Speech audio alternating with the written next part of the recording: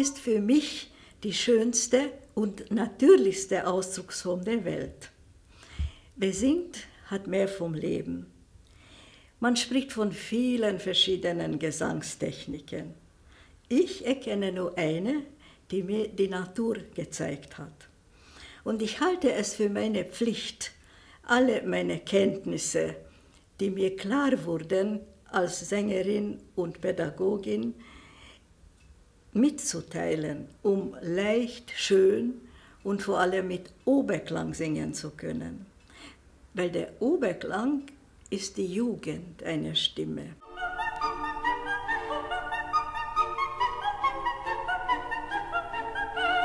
Wir Sänger haben unseren Körper als Instrument. Und dieser Körper hat keine feste Form wie ein Flügel oder eine Geige. Wir müssen von Fall zu Fall die richtige Stellung zu finden, um das Singen schön und leicht zu machen.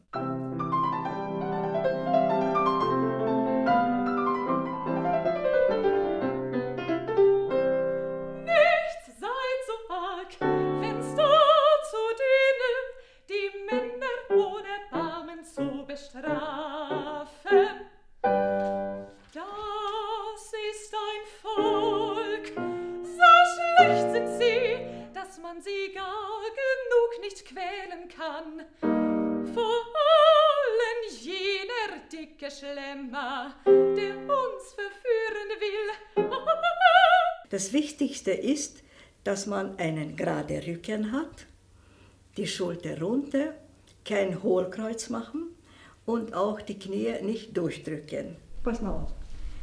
Gerade stehen. Den Becken nach vorne. Mhm, ja. ja, ja. Und jetzt? Hm? Ja, okay. Hm?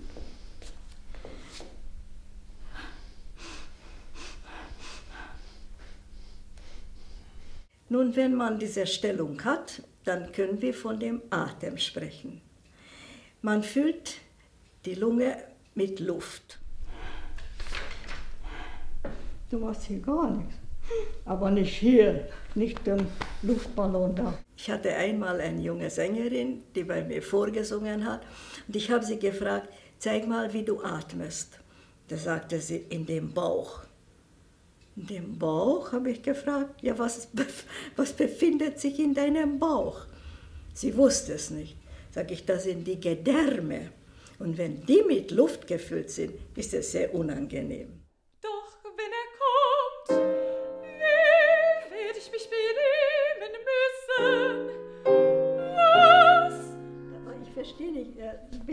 Atme mal ein, ja?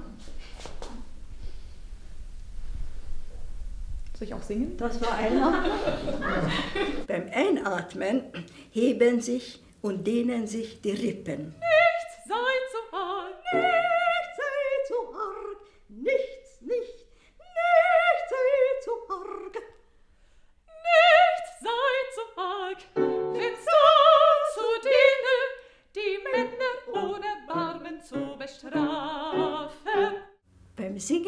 Es genauso wie beim Tanzen oder beim Sport Spannung und Entspannung. Und genau so spielt sich meine rhythmische Stütze. Und zwar, wenn ich stütze, dann ziehe ich die Bauchquermuskeln zusammen. Ich drücke sie nicht raus, ich ziehe die nicht rein, sondern einfach zusammen. Wenn ich spreche, tue ich dasselbe, nur minimal und unbewusst. Vedrò per man d'amore unita un vil oggetto che in me destuon affetto che per me poi non ha che per me poi non ha vedrò vedrò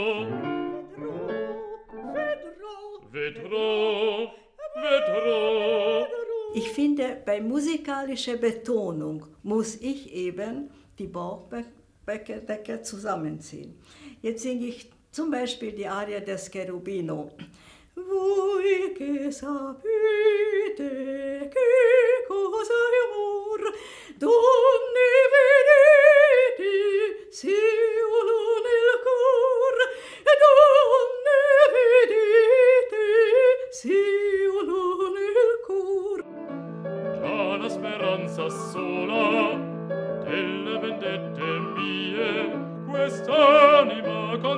sola e giubilar mi fa e giubilar e giubilar mi fa e giubilar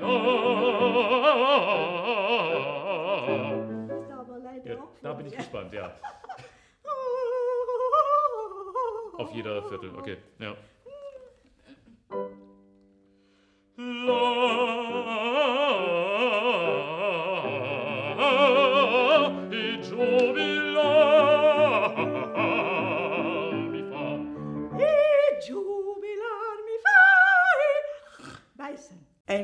Ganz, toller Bariton, für mich der beste Bariton der Welt.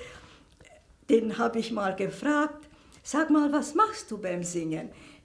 Bewegst du deinen Bauch? Sagt er, sempre, sempre, immer, immer.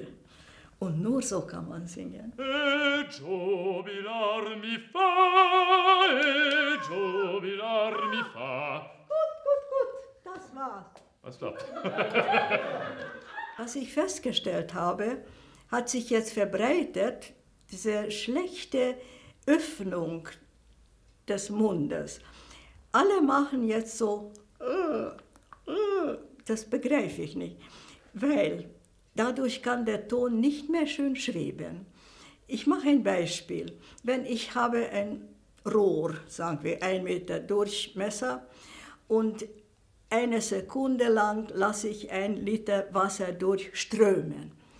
Aber wenn ich dieses Rohr verkleinere und die gleiche Wassermenge, gleiche Zeit durchlasse, dann verengt sich das. Es besteht dann nicht mehr eine richtige Strömung.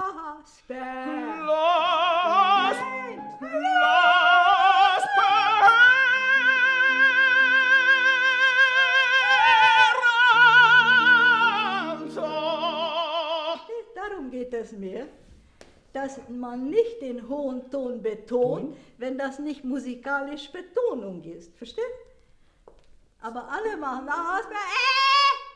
Und das ist eben falsch, was ich nicht verstehe bei vielen, dieses Öffnen. Das Kinn muss immer ganz locker fallen.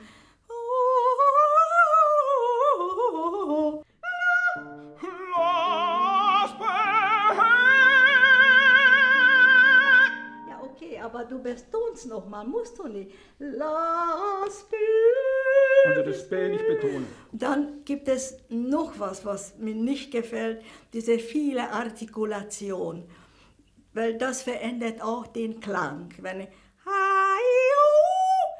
uh, muss man nicht mehr. Ich muss gar nicht, ich muss viel sprechen. Singen ist eigentlich erhöhtes rhythmisches Sprechen. Las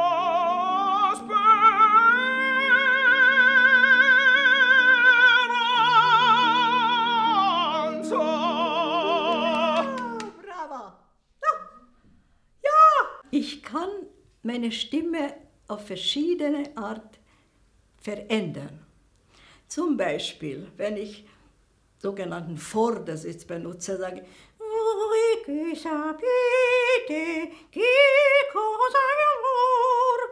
Oder wenn ich diese Genstellung, wie man sagt, mal?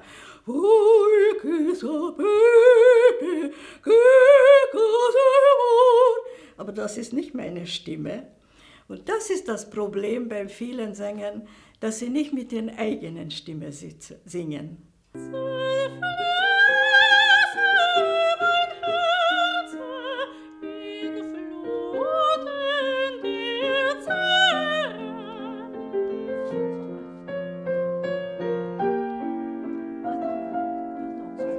Es ist sehr, der Ansatz ist sehr schön, aber ein bisschen zu schmal. Also so sta- hm? zerfließt, Herzen. Ja, probier mal dieses Staunen.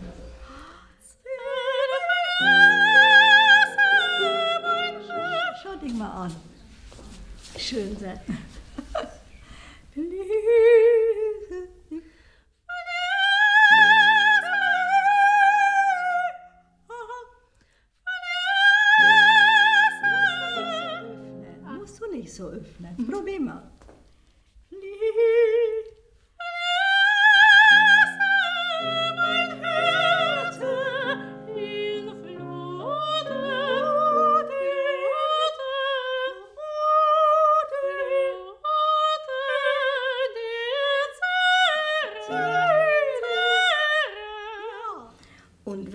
Diesen schönen Atem hat, dann muss man darauf achten, wie man den Ton einfach schweben lassen kann.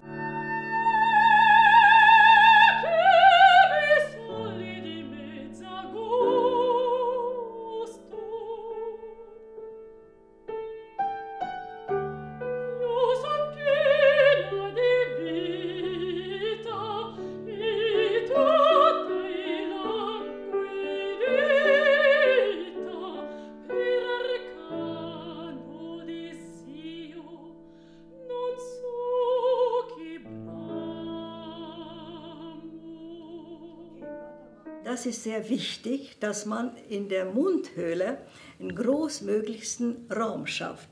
Das kann ich so erreichen, dass ich mir vorstelle, die Tür geht auf und da steht ein geliebter Mensch plötzlich unerwartet. Was tue ich dann?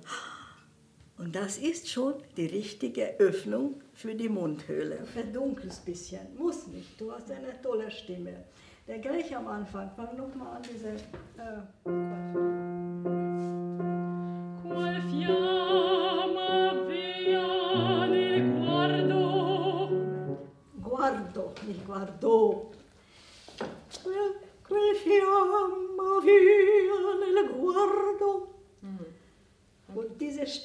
also ich mache immer die rhythmische Stütze, also zuerst dieses Zusammenziehen.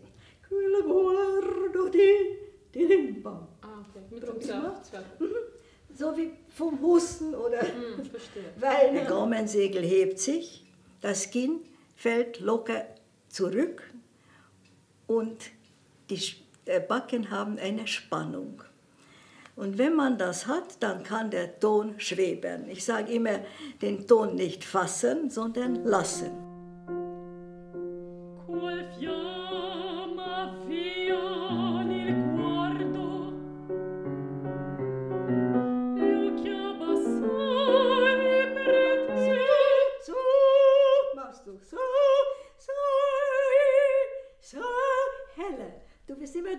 Mio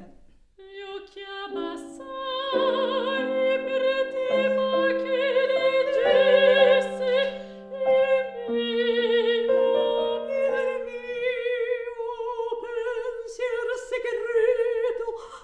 Dieses Saugefühl auch. Als ich anfing zu unterrichten, habe ich auch den Fehler begangen, wie ich das gehört habe von meiner Lehrerin, man muss einen Vordersitz haben. Also erstens, ein Ton kann nicht sitzen. Ich kann sitzen, aber der Ton nicht. Der Ton muss schweben.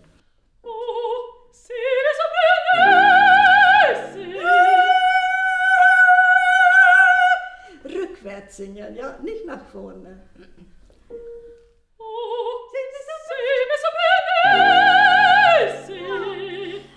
Ich an der Staatsoper Berlin angefangen habe, hatte ich einen sehr guten Kollegen, wunderbare Bariton, und der hat zu mir gesagt, merk dir's Mädel, beim Singen muss jedes Loch auf sein, nur eins hinten zu.